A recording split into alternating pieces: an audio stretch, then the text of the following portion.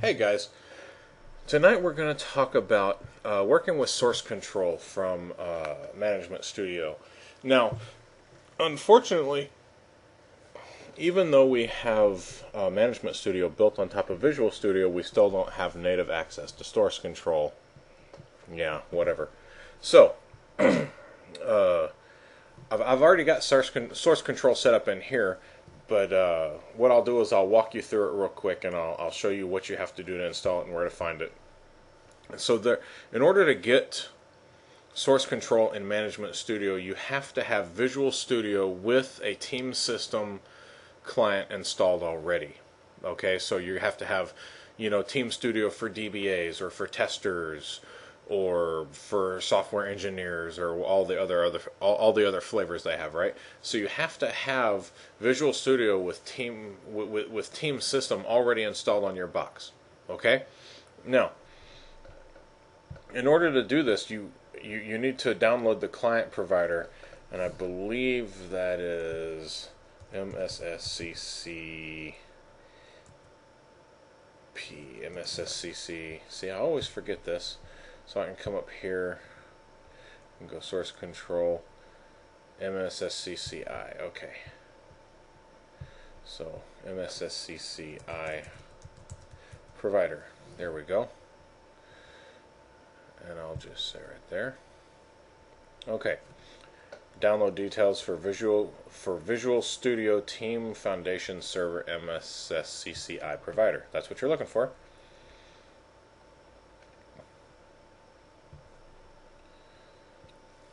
come up here in a second.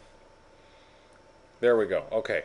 So you come to the download page and you just download it as usual, right? There's no big deal. But I just wanted to show you how to find it. Um, in case you don't know where to get it, it's easy enough. You can just run a Yahoo search, okay? so, like I said, if you try to install it and you don't have Visual Studio with Team System installed on your box already, it'll give you an error and tell you that that's a prerequisite. So just go ahead and do it now because it's the only way you're going to be able to install. So okay, once you get that installed, um, you can come in here under source control. You can see that the provider is listed there. And then you can see it set up for uh, environment settings for source safe, right? because that's really what it is. I mean, at that point, you don't have the full functionality, the full rich functionality of TFS in Management Studio, right? All you can do is check stuff in and check stuff out, and you're, you're really limited in what you can do. Um, here I got my Corp login ID that I'm using. Um, you can set some of your uh, checkout settings here, right?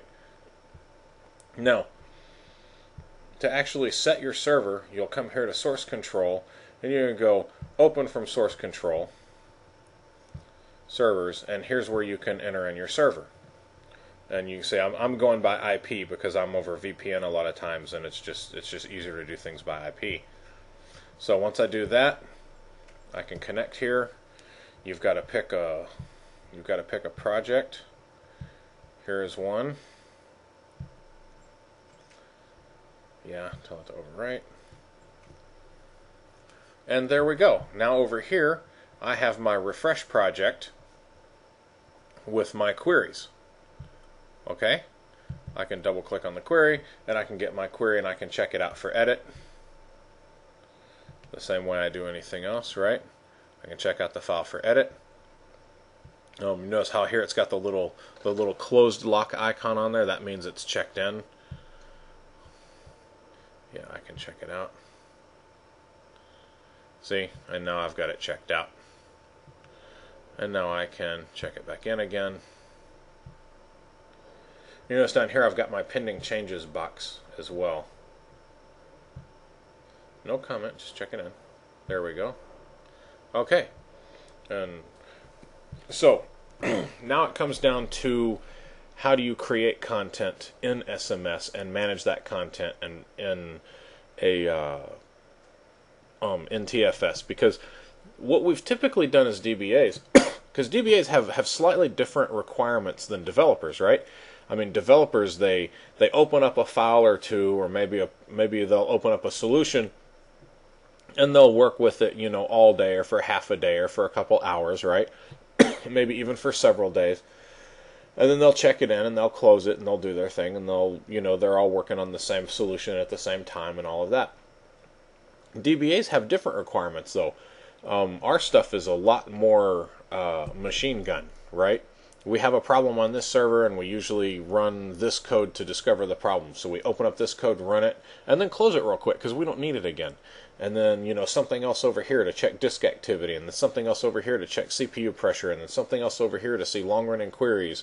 And so, you know, and something over here to check backups, right? Something over here to, to look at this security thing. or to to change a, a security something.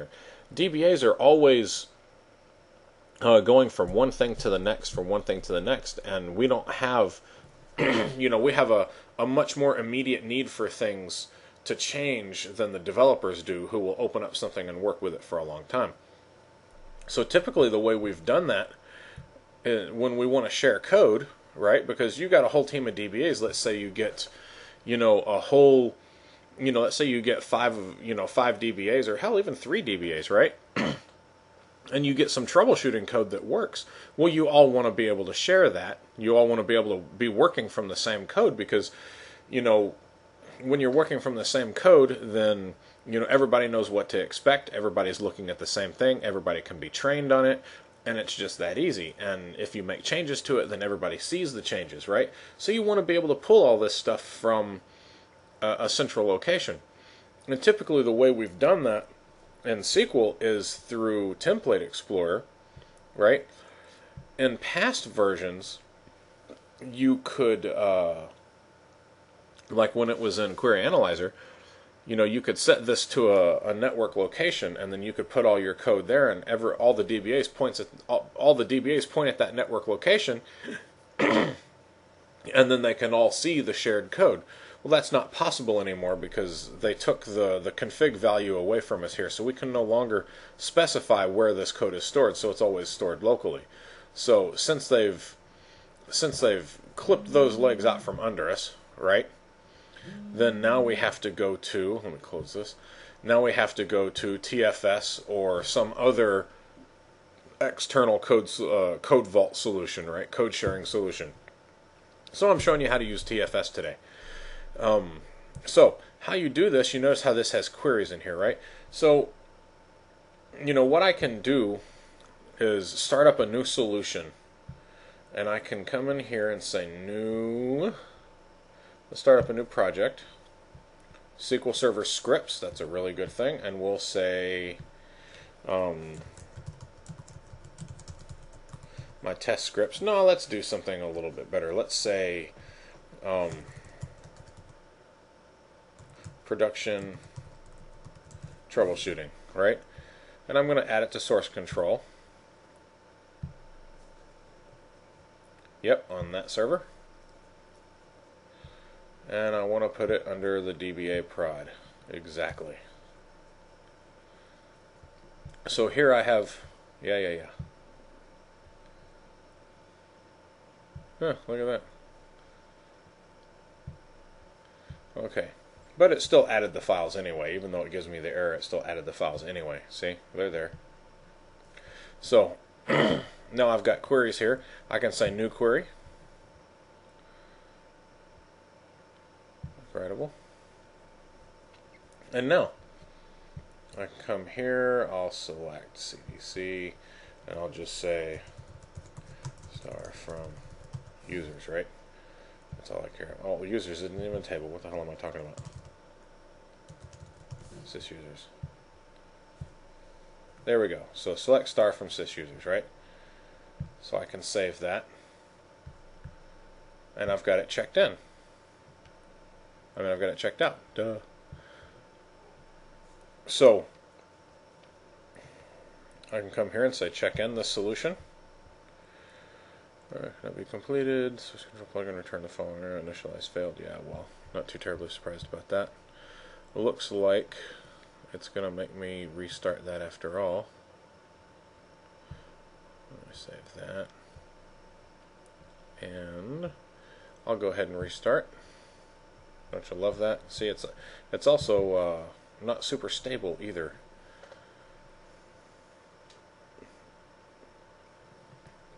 There we go. let's see what we have here. Source control. Sure, go ahead.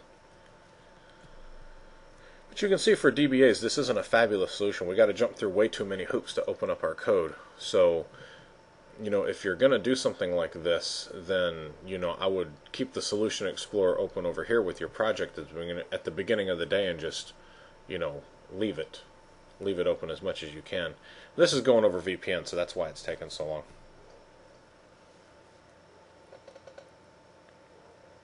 There we go. Actually, I'll open up that one. Alright, let's see. Yeah, that's fine. see if we can get something going here. Item is not controlled. Alright, that's what I like to see.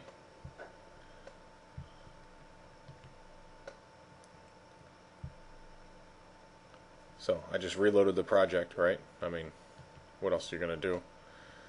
Let's see what we got here. Let's double click on that. Okay, so I got that. Good. Let's save it. See if I can get it to check in now.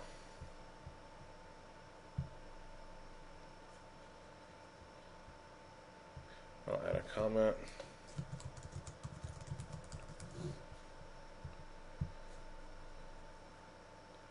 There we go, and now we see our little lock there.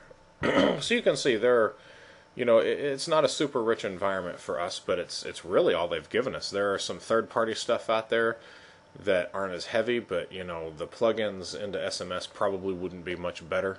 Um, uh, there are some ones completely outside of SSMS, but you know, they're outside of SSMS. I mean, they're only going to be as good as they can be, right? So, um, also, uh, I've got the Source Control Explorer open here. Um, so I can change source control right here, but there's uh, one right here that says uh, Launch Team Foundation Server MSSCCI Provider. When you hit this button, Visual Studio comes up.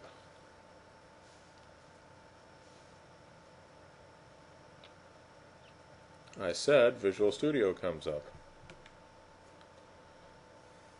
I guess it's thinking. So, okay, there it goes. It just came up. So, there you go. Uh, let me close that again. Okay, so that's uh, those are really the basics of working with uh, source control and SSMS. Um, it's not really rich. Uh, I hope they do something about it in the next version because, like I said, this is you know, built on top of, of a Visual Studio shell, so we should be able to get native source control. Um, I should be able to get the Source Control Explorer and all that, but instead all I get is, you know, my one little, uh, you know, my, my one little project at a time here, my one little solution at a time. But I'm likely to put my queries all in one spot, you know, so I would take this and say, um, you know, I'd make that sys users, yeah.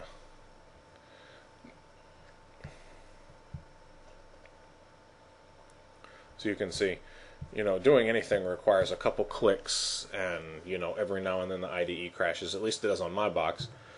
Um, and I had it on a couple other boxes before, and it did the and it behaved the same way. So, uh, anyway, uh, that's that's what you got for TFS and Management Studio, and uh, you know, use it or don't. I mean, it's really all you've got. So, you know, if you want this kind of thing, you know, use it. And it works the same way here as it does with uh, Visual SourceSafe with VSS. So, um, you know, this is the same VSS provider that you would install. Uh, it's the same provider, more or less, that you would install if you had VSS. So, you know, it's all good. Anyway, take care.